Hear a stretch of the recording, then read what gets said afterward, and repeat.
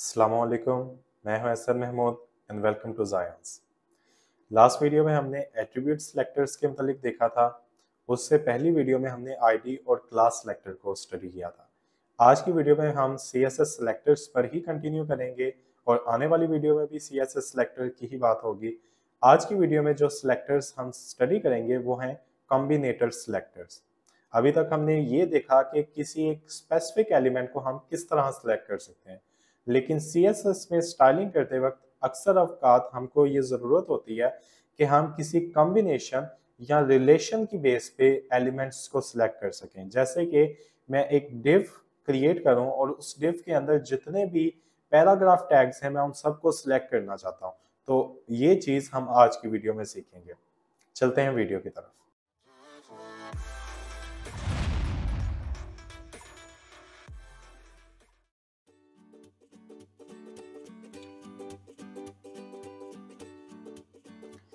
Start करने के लिए मैं यहाँ पर क्रोम ब्राउज़र ओपन कर लूँगा और लास्ट टाइम हम यहाँ तक पहुँचे थे। और इसी के साथ मैं कोड एडिटर को भी ओपन कर लूँगा और लास्ट टाइम हम इस फ़ाइल पे काम कर रहे थे, जिसमें कि हमने एट्रीब्यूट सेलेक्टर्स को अच्छी तरह स्टडी कर लिया था।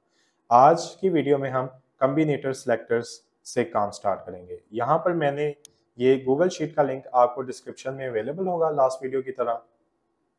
यहाँ पर लास्ट टाइम हम इस टैब में थे सी एस एस प्रॉपर्टीज़ यहाँ से मैंने एक कॉलम अभी के लिए रिमूव कर दिया है और यहाँ पर वीडियो का लिंक आपको जैसे जैसे ये शीट मिलती जाएगी और जो जो वीडियो रिलीज़ होती जाएगी, उसका लिंक यहाँ पर ऐड होता चला जाएगा। अभी के लिए मैंने एक और नीचे सब शीट क्रिएट की है सी एस एस सेलेक्टर्स और यहाँ पर अभी तक जो हम स्टडी कर चुके हैं, वो है I D selector class selector और एट्रीब्यूट सिलेक्टर और एट्रीब्यूट सिलेक्टर में हम ये पाँच टाइप स्टडी कर चुके हैं।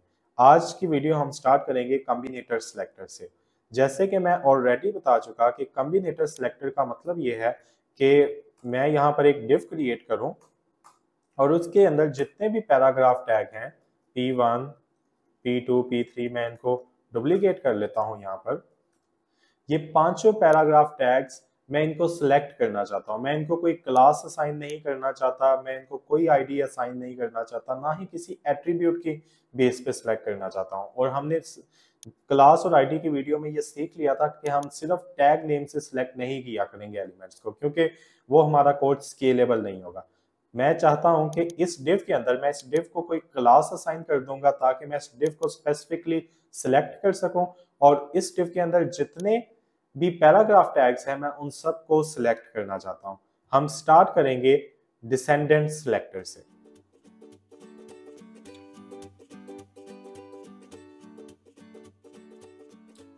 डिसेंडर सिलेक्टर को आपको एक्सप्लेन करने के लिए मैं यहाँ पर आऊँगा और सबसे पहले इसको एक क्लास असाइन कर दूँगा ताकि मैं इसे इस डिव को इंडिविजुअली सिलेक्ट कर सकूँ। मैं इसे कह दूँगा डिव वन अभी के लिए, क्योंकि हमारे पास अभी कोई प्रॉपर एच का स्ट्रक्चर हम हेडर टैग नहीं बना रहे अबाउट अस सेक्शन नहीं बना रहे, कोई सर्विसेज़ का सेक्शन नहीं बना रहे, इस वजह से मेरे पास इसके लिए कोई स्पेसिफिक एक क्लियर नाम नहीं है। हम इस तरह के नाम देने से सी एस एस क्लासेस के कोशिश करते हैं कि हम उससे बचें। एक, जो नाम आपकी सी एस एस क्लास का हो, वो ज़रा क्लियर होना चाहिए। जैसे कि अगर ये सर्विसेज़ सेक्शन होता तो मैं इसको सर्विसेज़ कंटेनर ये एक प्रॉपर नाम है कि ये सर्विसेज़ सेक्शन का कंटेनर एलिमेंट है कंटेनर डिव है। लेकिन क्योंकि ये अभी नहीं है तो मैं इसको अभी के लिए डमी नाम यूज़ कर लूँगा डिव वन ताकि अगर मैं और डिव्स को भी क्लासेस असाइन करूँ तो टू थ्री इस तरह कंटिन्यू कर सकूँ। अब मैं इस एलिमेंट को यहाँ पर सिलेक्ट कर लूँगा सीएसएस में। यहाँ से मैं ये एम जो ब्लॉक है सीएसएस उसको रिमूव कर दूँगा। सीएसएस में आपके पास एम ब्लॉक्स नहीं होने चाहिए। यहाँ पे आप अगर होवर करेंगे तो ये बता भी रहा है do not use M rule sets ये बेसिकली बैड प्रैक्टिस है। तो इसको हम रिमूव कर देंगे और यहाँ पर फॉर्मेट कर लेंगे। मैं नीचे आकर यहाँ पे ऐड कर दूँगा कि हम स्टडी कर रहे हैं डिसेंडेंट सेलेक्टर को। और मैं डी को कैपिटल कर दूँ।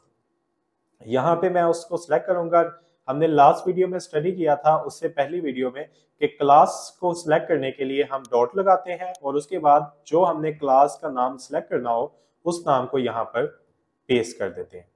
ये आ गया और फिर प्रॉपर्टी ब्लॉक को स्टार्ट करेंगे और यहाँ पे अभी सिर्फ़ और सिर्फ़ वेरीफाई करने के लिए कि ये मैंने सेलेक्ट कर लिया है, मैं इसको बैकग्राउंड कलर असाइन कर दूँगा ब्लू और सेव करूँगा, यहाँ पे आके रिफ्रेश करूँगा। और आप देख सकते हैं कि यहाँ पे ये चीज़ सिलेक्ट हो चुकी है। मैं इसके कलर को रिवर्ट कर दूँगा और अब हम कंटिन्यू करेंगे डिसेंडेंट सेलेक्टर से। डिसेंडेंट सेलेक्टर बेसिकली उसका संटेक्स ये है कि आप पेरेंट जो भी पेरेंट एलिमेंट होता है, उसका सिलेक्टर ऐड करते हैं। यहाँ पे मैं पेरेंट को क्लास से सिलेक्ट कर रहा हूँ और उसके बाद स्पेस ऐड करके जो उसमें डिसेंडेंट जो भी एलिमेंट आप उसके फर्दर डायरेक्ट चाइल्ड या फिर उसका जो फर्दर डाउन डिसेंडेंट है चाइल्ड का जो चाइल्ड है चाइल्ड का मीन ये पेरेंट है डिव जो रैप कर रहा है और ये इसका चाइल्ड है। पीट जो टैग है ये इस पेरेंट के अंदर क्योंकि रैप हो रहा है, इसलिए एच में हम टर्म यूज़ करते हैं एच और सीएसएस में कि ये पेरेंट एलिमेंट है और ये जो इसके अंदर जो इसके ओपनिंग और क्लोजिंग टैग के अंदर एलिमेंट आ रहा है, वो इसका चाइल्ड एलिमेंट ओके ये सिंपल सी टर्म है। तो यहाँ पर मैंने पेरेंट एलिमेंट का सिलेक्टर ऐड कर दिया। मैं स्पेस ऐड करूँगा और चाइल्ड एलिमेंट का सिलेक्टर ऐड कर दूँगा। यहाँ पे मैं पी डायरेक्टली यूज़ कर लूँगा। मैं इसको काफ़ी स्पेसिफिक कर सकता हूँ कि मैं यहाँ पे सारे पीस को एक क्लास असाइन कर दूँ, लेकिन ये ऑलरेडी काफ़ी स्पेसिफिक है, क्योंकि हम सब पीस को सिलेक्ट नहीं कर रहे। जैसे कि मैं अगर इसके नीचे यहाँ, इसके नीचे एक और पी पैराग्राफ टैग को ऐड कर लेता हूँ। Outside div one div okay okay, मैंने बस उसको div वन ये कह दिया पेरेंट कह देता हूँ इसको। और यहाँ पर मैं इन सबको कह देता हूँ अब मैंने जो स्टाइल्स यहाँ पे इंप्लीमेंट करूँगा वो पैराग्राफ टैग को इंप्लीमेंट होंगे। Basically C S S selector जिस तरह काम करते हैं कि जो एंड पे चीज़ लास्ट चीज़ होगी ये पहले जितने होंगे उसको पेरेंट सिलेक्ट करेगा। और स्पेस देके ये जो स्पेस मैंने यूज़ किया, ये डिसेंडेंट सिलेक्टर के लिए यूज़ होती है। मीन के जितने भी इसके अंदर चाइल्ड आ रहे हो, उन सबको जो स्पेसिफिक पैराग्राफ चाइल्ड हैं, उन सबको सिलेक्ट कर लेना पी टैग को। मैं इसको कह देता हूँ कि ये कलर या इसका फॉन्ट साइज़ जो है वो 30 पिक्सल कर दे और फॉन्ट वेट बोल्ड कर दे। मैंने ये किया सेव करूँगा, यहाँ पे आके रिफ्रेश करूँगा तो आप देख सकते हैं मैंने कलर रिमूव कर दिया था अभी। ये सिर्फ़ इन पे अप्लाई हुआ है। नीचे वाले आउटसाइड डिव या पहली जो डिव पैराग्राफ टैग्स हैं, उन पे अप्लाई नहीं हुआ। तो ये सिलेक्टर ऑलरेडी काफ़ी स्पेसिफिक है। एक तो इसने अपने अंदर जो डायरेक्ट ये इसके डायरेक्ट चाइल्ड हैं, क्योंकि ये ओपनिंग टैग स्टार्ट हुआ है और पैराग्राफ टैग डायरेक्टली इसके अंदर आ गया तो ये पैराग्राफ इस डिव का डायरेक्ट चाइल्ड है। लेकिन ये जो डिसेंडेंट सिलेक्टर है, ये ना सिर्फ़ डायरेक्ट चाइल्ड को सिलेक्ट करता है बल्कि अगर इसका फर्द डिसेंडेंट का मतलब ही ये होता है कि चाइल्ड चाइल्ड भी उसमें आ जाते हैं चाइल्ड के चाइल्ड ग्रैंड चाइल्ड और ग्रैंड ग्रैंड चाइल्ड सारे उसमें शामिल हो जाते हैं। जैसे मैं यहाँ पर कोई एक और डिव ऐड कर लूँ, उसके अंदर एक और डिव ऐड कर लूँ, उसके अंदर एक और डिव ऐड कर दूँ और फर्दर डाउन जितना मर्ज़ी डीप लेवल चला जाऊँ, उसमें अगर एक पैराग्राफ टैग ऐड करके यहाँ पे लिख देता हूँ three level deep child descendant okay और इसे सेव करता हूँ तो ये इसको भी सिलेक्ट कर लेगा। डिसेंडेंट सिलेक्टर ये बेसिकली काफ़ी एक जेनेरिक सिलेक्टर है, क्योंकि ये इस डिव के अंदर, इस जो ये क्लास जिस डिव को अवेलेबल है, उसमें जहाँ पर भी पी पैराग्राफ टैग आएगा, ये स्टाइल यहाँ पे जो मैं इसको मेंशन करूँगा, उसको अप्लाई हो जाएँगे। ये था डिसेंडेंट सिलेक्टर नेक्स्ट अब हम स्टडी करेंगे child selector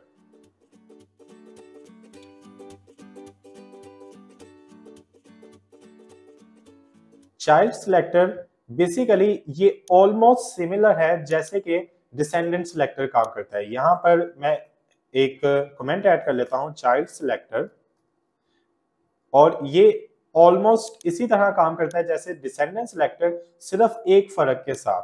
descendant selector basically सारे जो चाइल्ड इसमें होते हैं डायरेक्ट चाइल्ड या सब सब चाइल्ड उनको सिलेक्ट कर लेता है, जबकि जो सिंपल चाइल्ड सिलेक्टर जिसका के सिंटेक्स है div and greater than symbol और उसके बाद जो चाइल्ड का जो भी सिलेक्टर है, उसको मैं कोई क्लास देता हूँ। जैसे यहाँ पे मैं क्लास से स्पेसिफाई कर देता हूँ। यहाँ पर मैं कह देता हूँ H2 टैग ऐड करता हूँ, और दो एच टू टैग ऐड कर देता हूँ। H2 टैग वन और एच टू टैग टू और सिर्फ़ पहले वाले को मैं क्लास असाइन करता हूँ। H2 टैग वन और मैं यहाँ पर आके बेसिकली कह देता हूँ कि सिर्फ़ वो वाला एलिमेंट सिलेक्ट करो डायरेक्ट चाइल्ड ये जो है चाइल्ड सिलेक्टर है और चाइल्ड का मतलब है कि वो सब ग्रैंड चाइल्ड नहीं हो सकता ग्रैंड ग्रैंड चाइल्ड नहीं हो सकता। ये इस पेरेंट के डायरेक्ट मीन के वो डायरेक्ट चाइल्ड इसका होना चाहिए। सिर्फ़ और सिर्फ़ जो इस पेरेंट की ओपनिंग और क्लोजिंग ब्रैकेट में डायरेक्ट वो आता है। उसके बाद कोई और एलिमेंट स्टार्ट होके उसके अंदर आएगा तो वो उसका डिसेंडेंट बन जाता है। वो उसका चाइल्ड डायरेक्ट चाइल्ड नहीं रहता।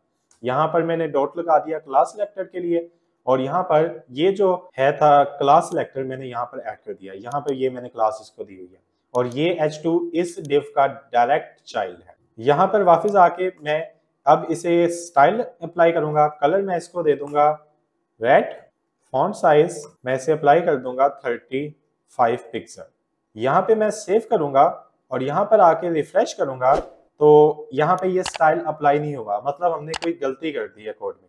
मैं वापस कोड में आऊँगा और यहाँ पर बेसिकली मैंने सिर्फ़ डॉट डिव ऐड किया है, जबकि यहाँ पे मैंने क्लास इसकी रखी थी डिव वन तो इस तरह की मिस्टेक्स से बचना है और क्लासेस जब भी लिखनी है, उनको प्लीज़ डबल कंफर्म करना है कि आपकी क्लासेस एग्जैक्टली सेम है जो यहाँ पे आपने स्पेलिंग लिखे हैं। मैं यहाँ से कॉपी करके इस तरह की मिस्टेक से बचने के लिए यहाँ पे पेस्ट कर दूँगा सेव करूँगा और अब यहाँ पर आके रिफ्रेश करूँगा तो आप देख सकते हैं कि वो स्टाइल अप्लाई हो गया और ये स्टाइल सिर्फ़ और सिर्फ़ एक तो डायरेक्ट चाइल्ड को अप्लाई हुआ है और दूसरा उस डायरेक्ट चाइल्ड को अप्लाई हुआ है जिसके पास ये क्लास थी। मीन अगर मैं यहाँ पर H2 कह देता या मैं इसी को एक रिवर्ट करके मैं पहले डायरेक्ट चाइल्ड को एक दफ़ा क्लियर कर देता हूँ, मैं इसको कॉपी करता हूँ और इसके अंदर, इस डिव के अंदर रख देता हूँ। फॉर्मेट करता हूँ और यहाँ पर मैं कह देता हूँ H two tag one class बिल्कुल सेम रहने देता हूँ। यहाँ पे सिर्फ़ कह देता हूँ डीप लेवल वन ओके कि सिर्फ़ और सिर्फ़ ये एक लेवल डाउन आ गया। अब इसका जो डायरेक्ट पेरेंट है वो ये डिव है और इस डिव का डायरेक्ट पेरेंट ये डिव एक्चुअल डिव है। इसलिए अब ये रूल इस पे अप्लाई नहीं होगा, जबकि इसकी क्लास बिल्कुल सेम है। लेकिन ये जो ग्रेटर देन सिंबल है, ये डायरेक्ट चाइल्ड को ही सिलेक्ट करता है। मैं यहाँ पे आके रिफ्रेश करूँगा तो आप देख सकते हैं कि ये स्टाइल नहीं होगा। और नेक्स्ट जो मैंने दिखाना था वो भी सेम ही है कि अगर मैं इस पे H2 कह देता हूँ, अब क्योंकि ये हर एक H2 को सिलेक्ट कर लेगा जो इसका डायरेक्ट चाइल्ड है, इसलिए अब ये भी सिलेक्ट हो जाएगा और ये भी सिलेक्ट हो जाएगा। रिफ्रेश करूँगा तो आप देख सकते हैं कि यहाँ पे दोनों सिलेक्ट हो गए। इस वजह से मैंने यहाँ पे क्लास यूज़ कर ली क्योंकि मैं सिर्फ़ एक ही डिव को सॉरी एक ही एच टू को सिलेक्ट करना चाहता था। सेव ये फ्रेश और यहाँ पर ये कंप्लीट हो गया। इसी के साथ हमारा चाइल्ड सिलेक्टर भी कंप्लीट हो गया। नेक्स्ट अब हम स्टडी करेंगे adjacent sibling selector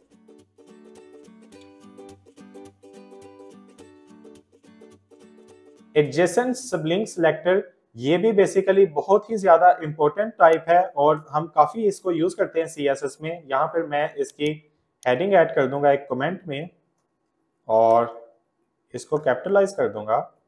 यहाँ पर सिलेक्टर और यहाँ से मैं थोड़ा सा इसे क्लीन कर लूँगा ताकि हमारे पास जगह अवेलेबल हो। मैं इस कोड को यहाँ तक कमेंट कर रहा हूँ। कमेंट किया। और बेसिकली मैंने एंडिंग डिफ को भी कमेंट कर दिया। यहाँ पे जैसे ही आपको प्रीटियर में कोई एरर आए, इसका मतलब है कि आपने कोई गलत एच फॉर्मेट मीन के एच में आपकी कोई गलती हो गई है। आपकी एच वैलिड नहीं थी मैंने यहाँ पे डिव को स्टार्ट किया, लेकिन एंडिंग टैग को भी कमेंट कर दिया। तो मैं यहाँ पे कंट्रोल जी करूँगा कमांड जी मैक पे, और इस डिव को निकाल लूँगा। यहाँ तक सिर्फ़ और सिर्फ़ इन चीज़ों को कमेंट कर दूँगा। और सेव करूँगा तो आप देख सकते हैं कि प्रीटियर का जो एरर है वो खत्म हो गया। तो यहाँ पे प्रीटियर जब भी आपको एरर दे, इसका मतलब है कि आपकी H T M L invalid है।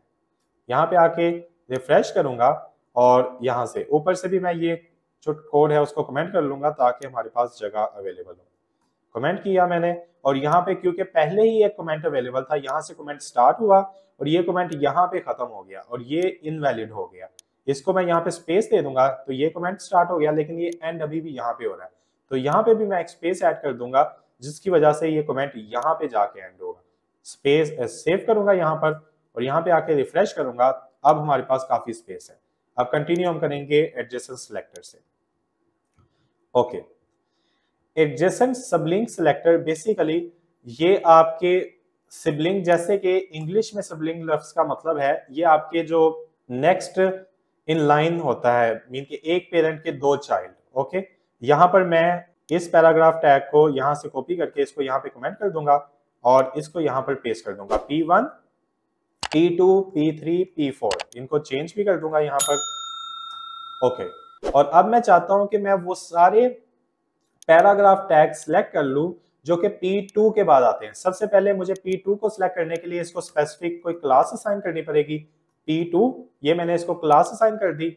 अब मैं चाहता हूँ कि P2 के बाद जो डायरेक्ट इसका सिबलिंग है एडजेसेंट सिबलिंग का मतलब है कि एक तो वो नेक्स्ट होना चाहिए और सिर्फ़ और सिर्फ़ इसके नेक्स्ट जो डायरेक्ट सिबलिंग हो, ये नहीं कि इसके बाद ये भी सिलेक्ट होगा। सिर्फ़ जो नेक्स्ट डायरेक्ट सिबलिंग है ये प्रीवियस को भी सिलेक्ट नहीं करेगा और ना ही नेक्स्ट से आगे एक से ज़्यादा नेक्स्ट सिबलिंग को सिलेक्ट करेगा। ये सिर्फ़ और सिर्फ़ P3 को सिलेक्ट करेगा। यहाँ पे मैं सेव कर लेता हूँ।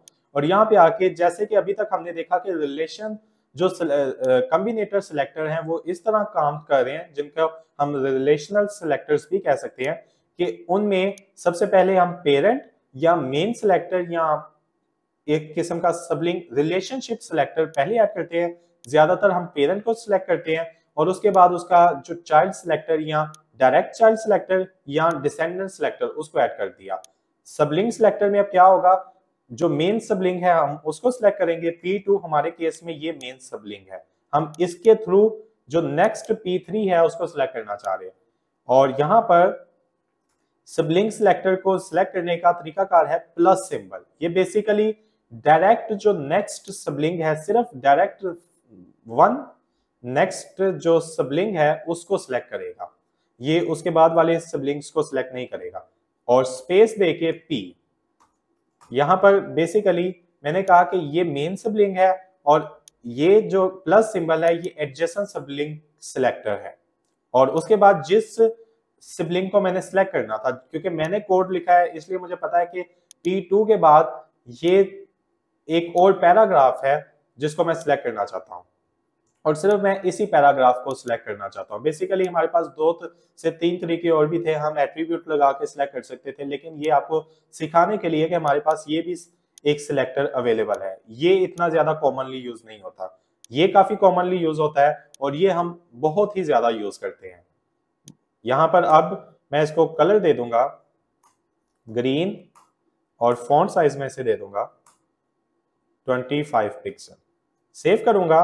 और यहाँ पर आके रिफ्रेश करूँगा तो आप देख सकते हैं कि ये जो पी है, सबसे पहले मैं ऊपर आके बेसिकली क्योंकि यहाँ पे डिव वन में पहले ही वो लगी हुई है, जो प्रॉपर्टी है, वो पहले से यहाँ पे लगी हुई है कि डिव टैग में जितने भी पैराग्राफ टैग है, उनका फॉन्ट साइज़ 30 पिक्सल हो।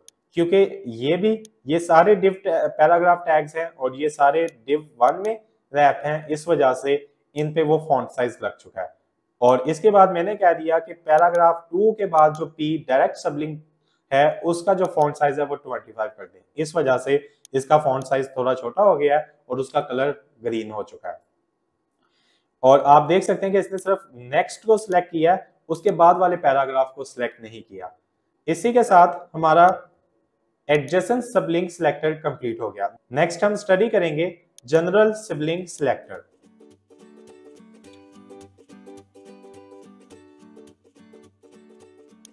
general sibling selector hopefully आपने गैस कर लिया होगा, ये भी सिबलिंग्स को सिलेक्ट करने के लिए यूज़ होता है, लेकिन ये एडजेसेंट सिबलिंग सिलेक्टर से ज़्यादा पावरफुल होता है यहाँ पर मैं एक कमेंट ऐड कर लूँगा और यहाँ से इसे कॉपी करके वहाँ पर पेस्ट कर लूँगा और इसे अपडेट कर लूँगा यहाँ पर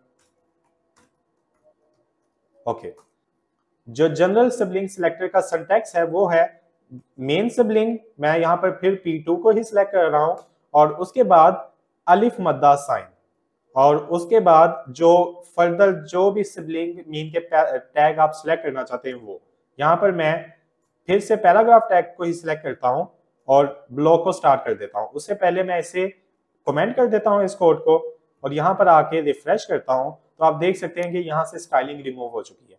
मैं वापस कोड में आता हूँ, और यहाँ पर आके अब कलर अप्लाई करता हूँ रेड सेव करता हूँ, यहाँ पे आके रिफ्रेश करता हूँ तो आप देख सकते हैं कि इसने दोनों सिलेक्टर्स को सिलेक्ट कर लिया है।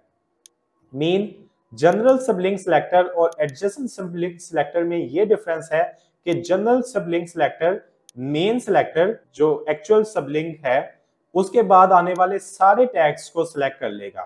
यहाँ पर अगर मैं बीच में कोई और टैग भी आ जाएगा और यहाँ पर मैं लिख देता हूँ H two tag in between उसके बाद भी अगर एक पैराग्राफ टैग आएगा, जो कि इस टैग का होना सिबलिंग ही चाहिए। मीन के एक इन इसका पेरेंट और इसका पेरेंट दोनों ये सेम पेरेंट में होने चाहिए। इस ये सिबलिंग की कंडीशन होती है। यहाँ पे P5 कहता हूँ और यहाँ पर आके रिफ्रेश करता हूँ तो आप देख सकते हैं कि ये भी सिलेक्ट हो चुका है। ये है जनरल सिबलिंग सिलेक्टर इसी के साथ हमारे जो कम्बिनेटर सिलेक्टर हैं, वो चारों कंप्लीट हो चुके हैं। मैं एक दफ़ा रिपीट कर देता हूँ। सबसे पहले हमने स्टडी किया डिसेंडेंट सिलेक्टर को। इसका सिंटैक्स है स्पेस मीन हम पेरेंट का सिलेक्टर ऐड करते हैं और स्पेस लगा के चाइल्ड सिलेक्टर ऐड कर देते हैं।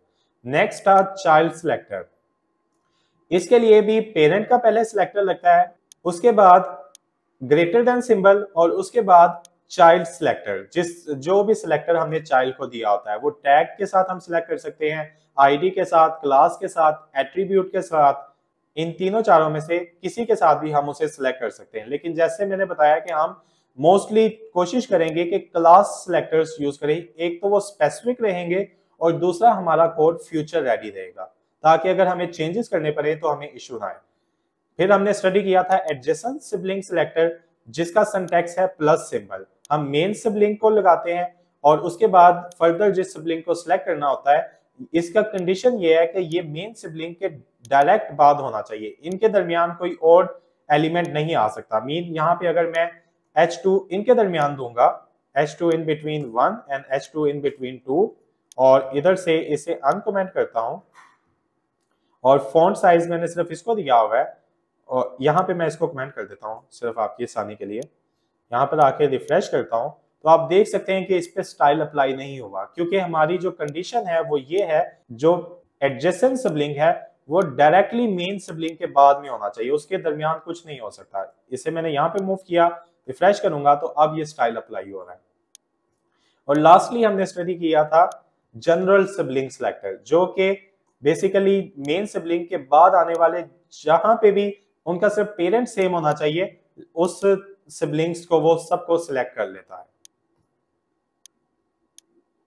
ये थी आज की वीडियो होपफुली आपको वीडियो पसंद आई होगी। वीडियो के रिलेटेड कोई भी क्वेश्चन हो तो उसे कमेंट सेक्शन में मेंशन करें। मैं उसका जवाब दूँगा। वीडियो को लाइक शेयर एंड कमेंट करें। चैनल को सब्सक्राइब करें। मैं आपसे मिलूँगा नेक्स्ट वीडियो में। तब तक के लिए अल्लाह हाफिज। Don't forget to like this video and also subscribe to my channel.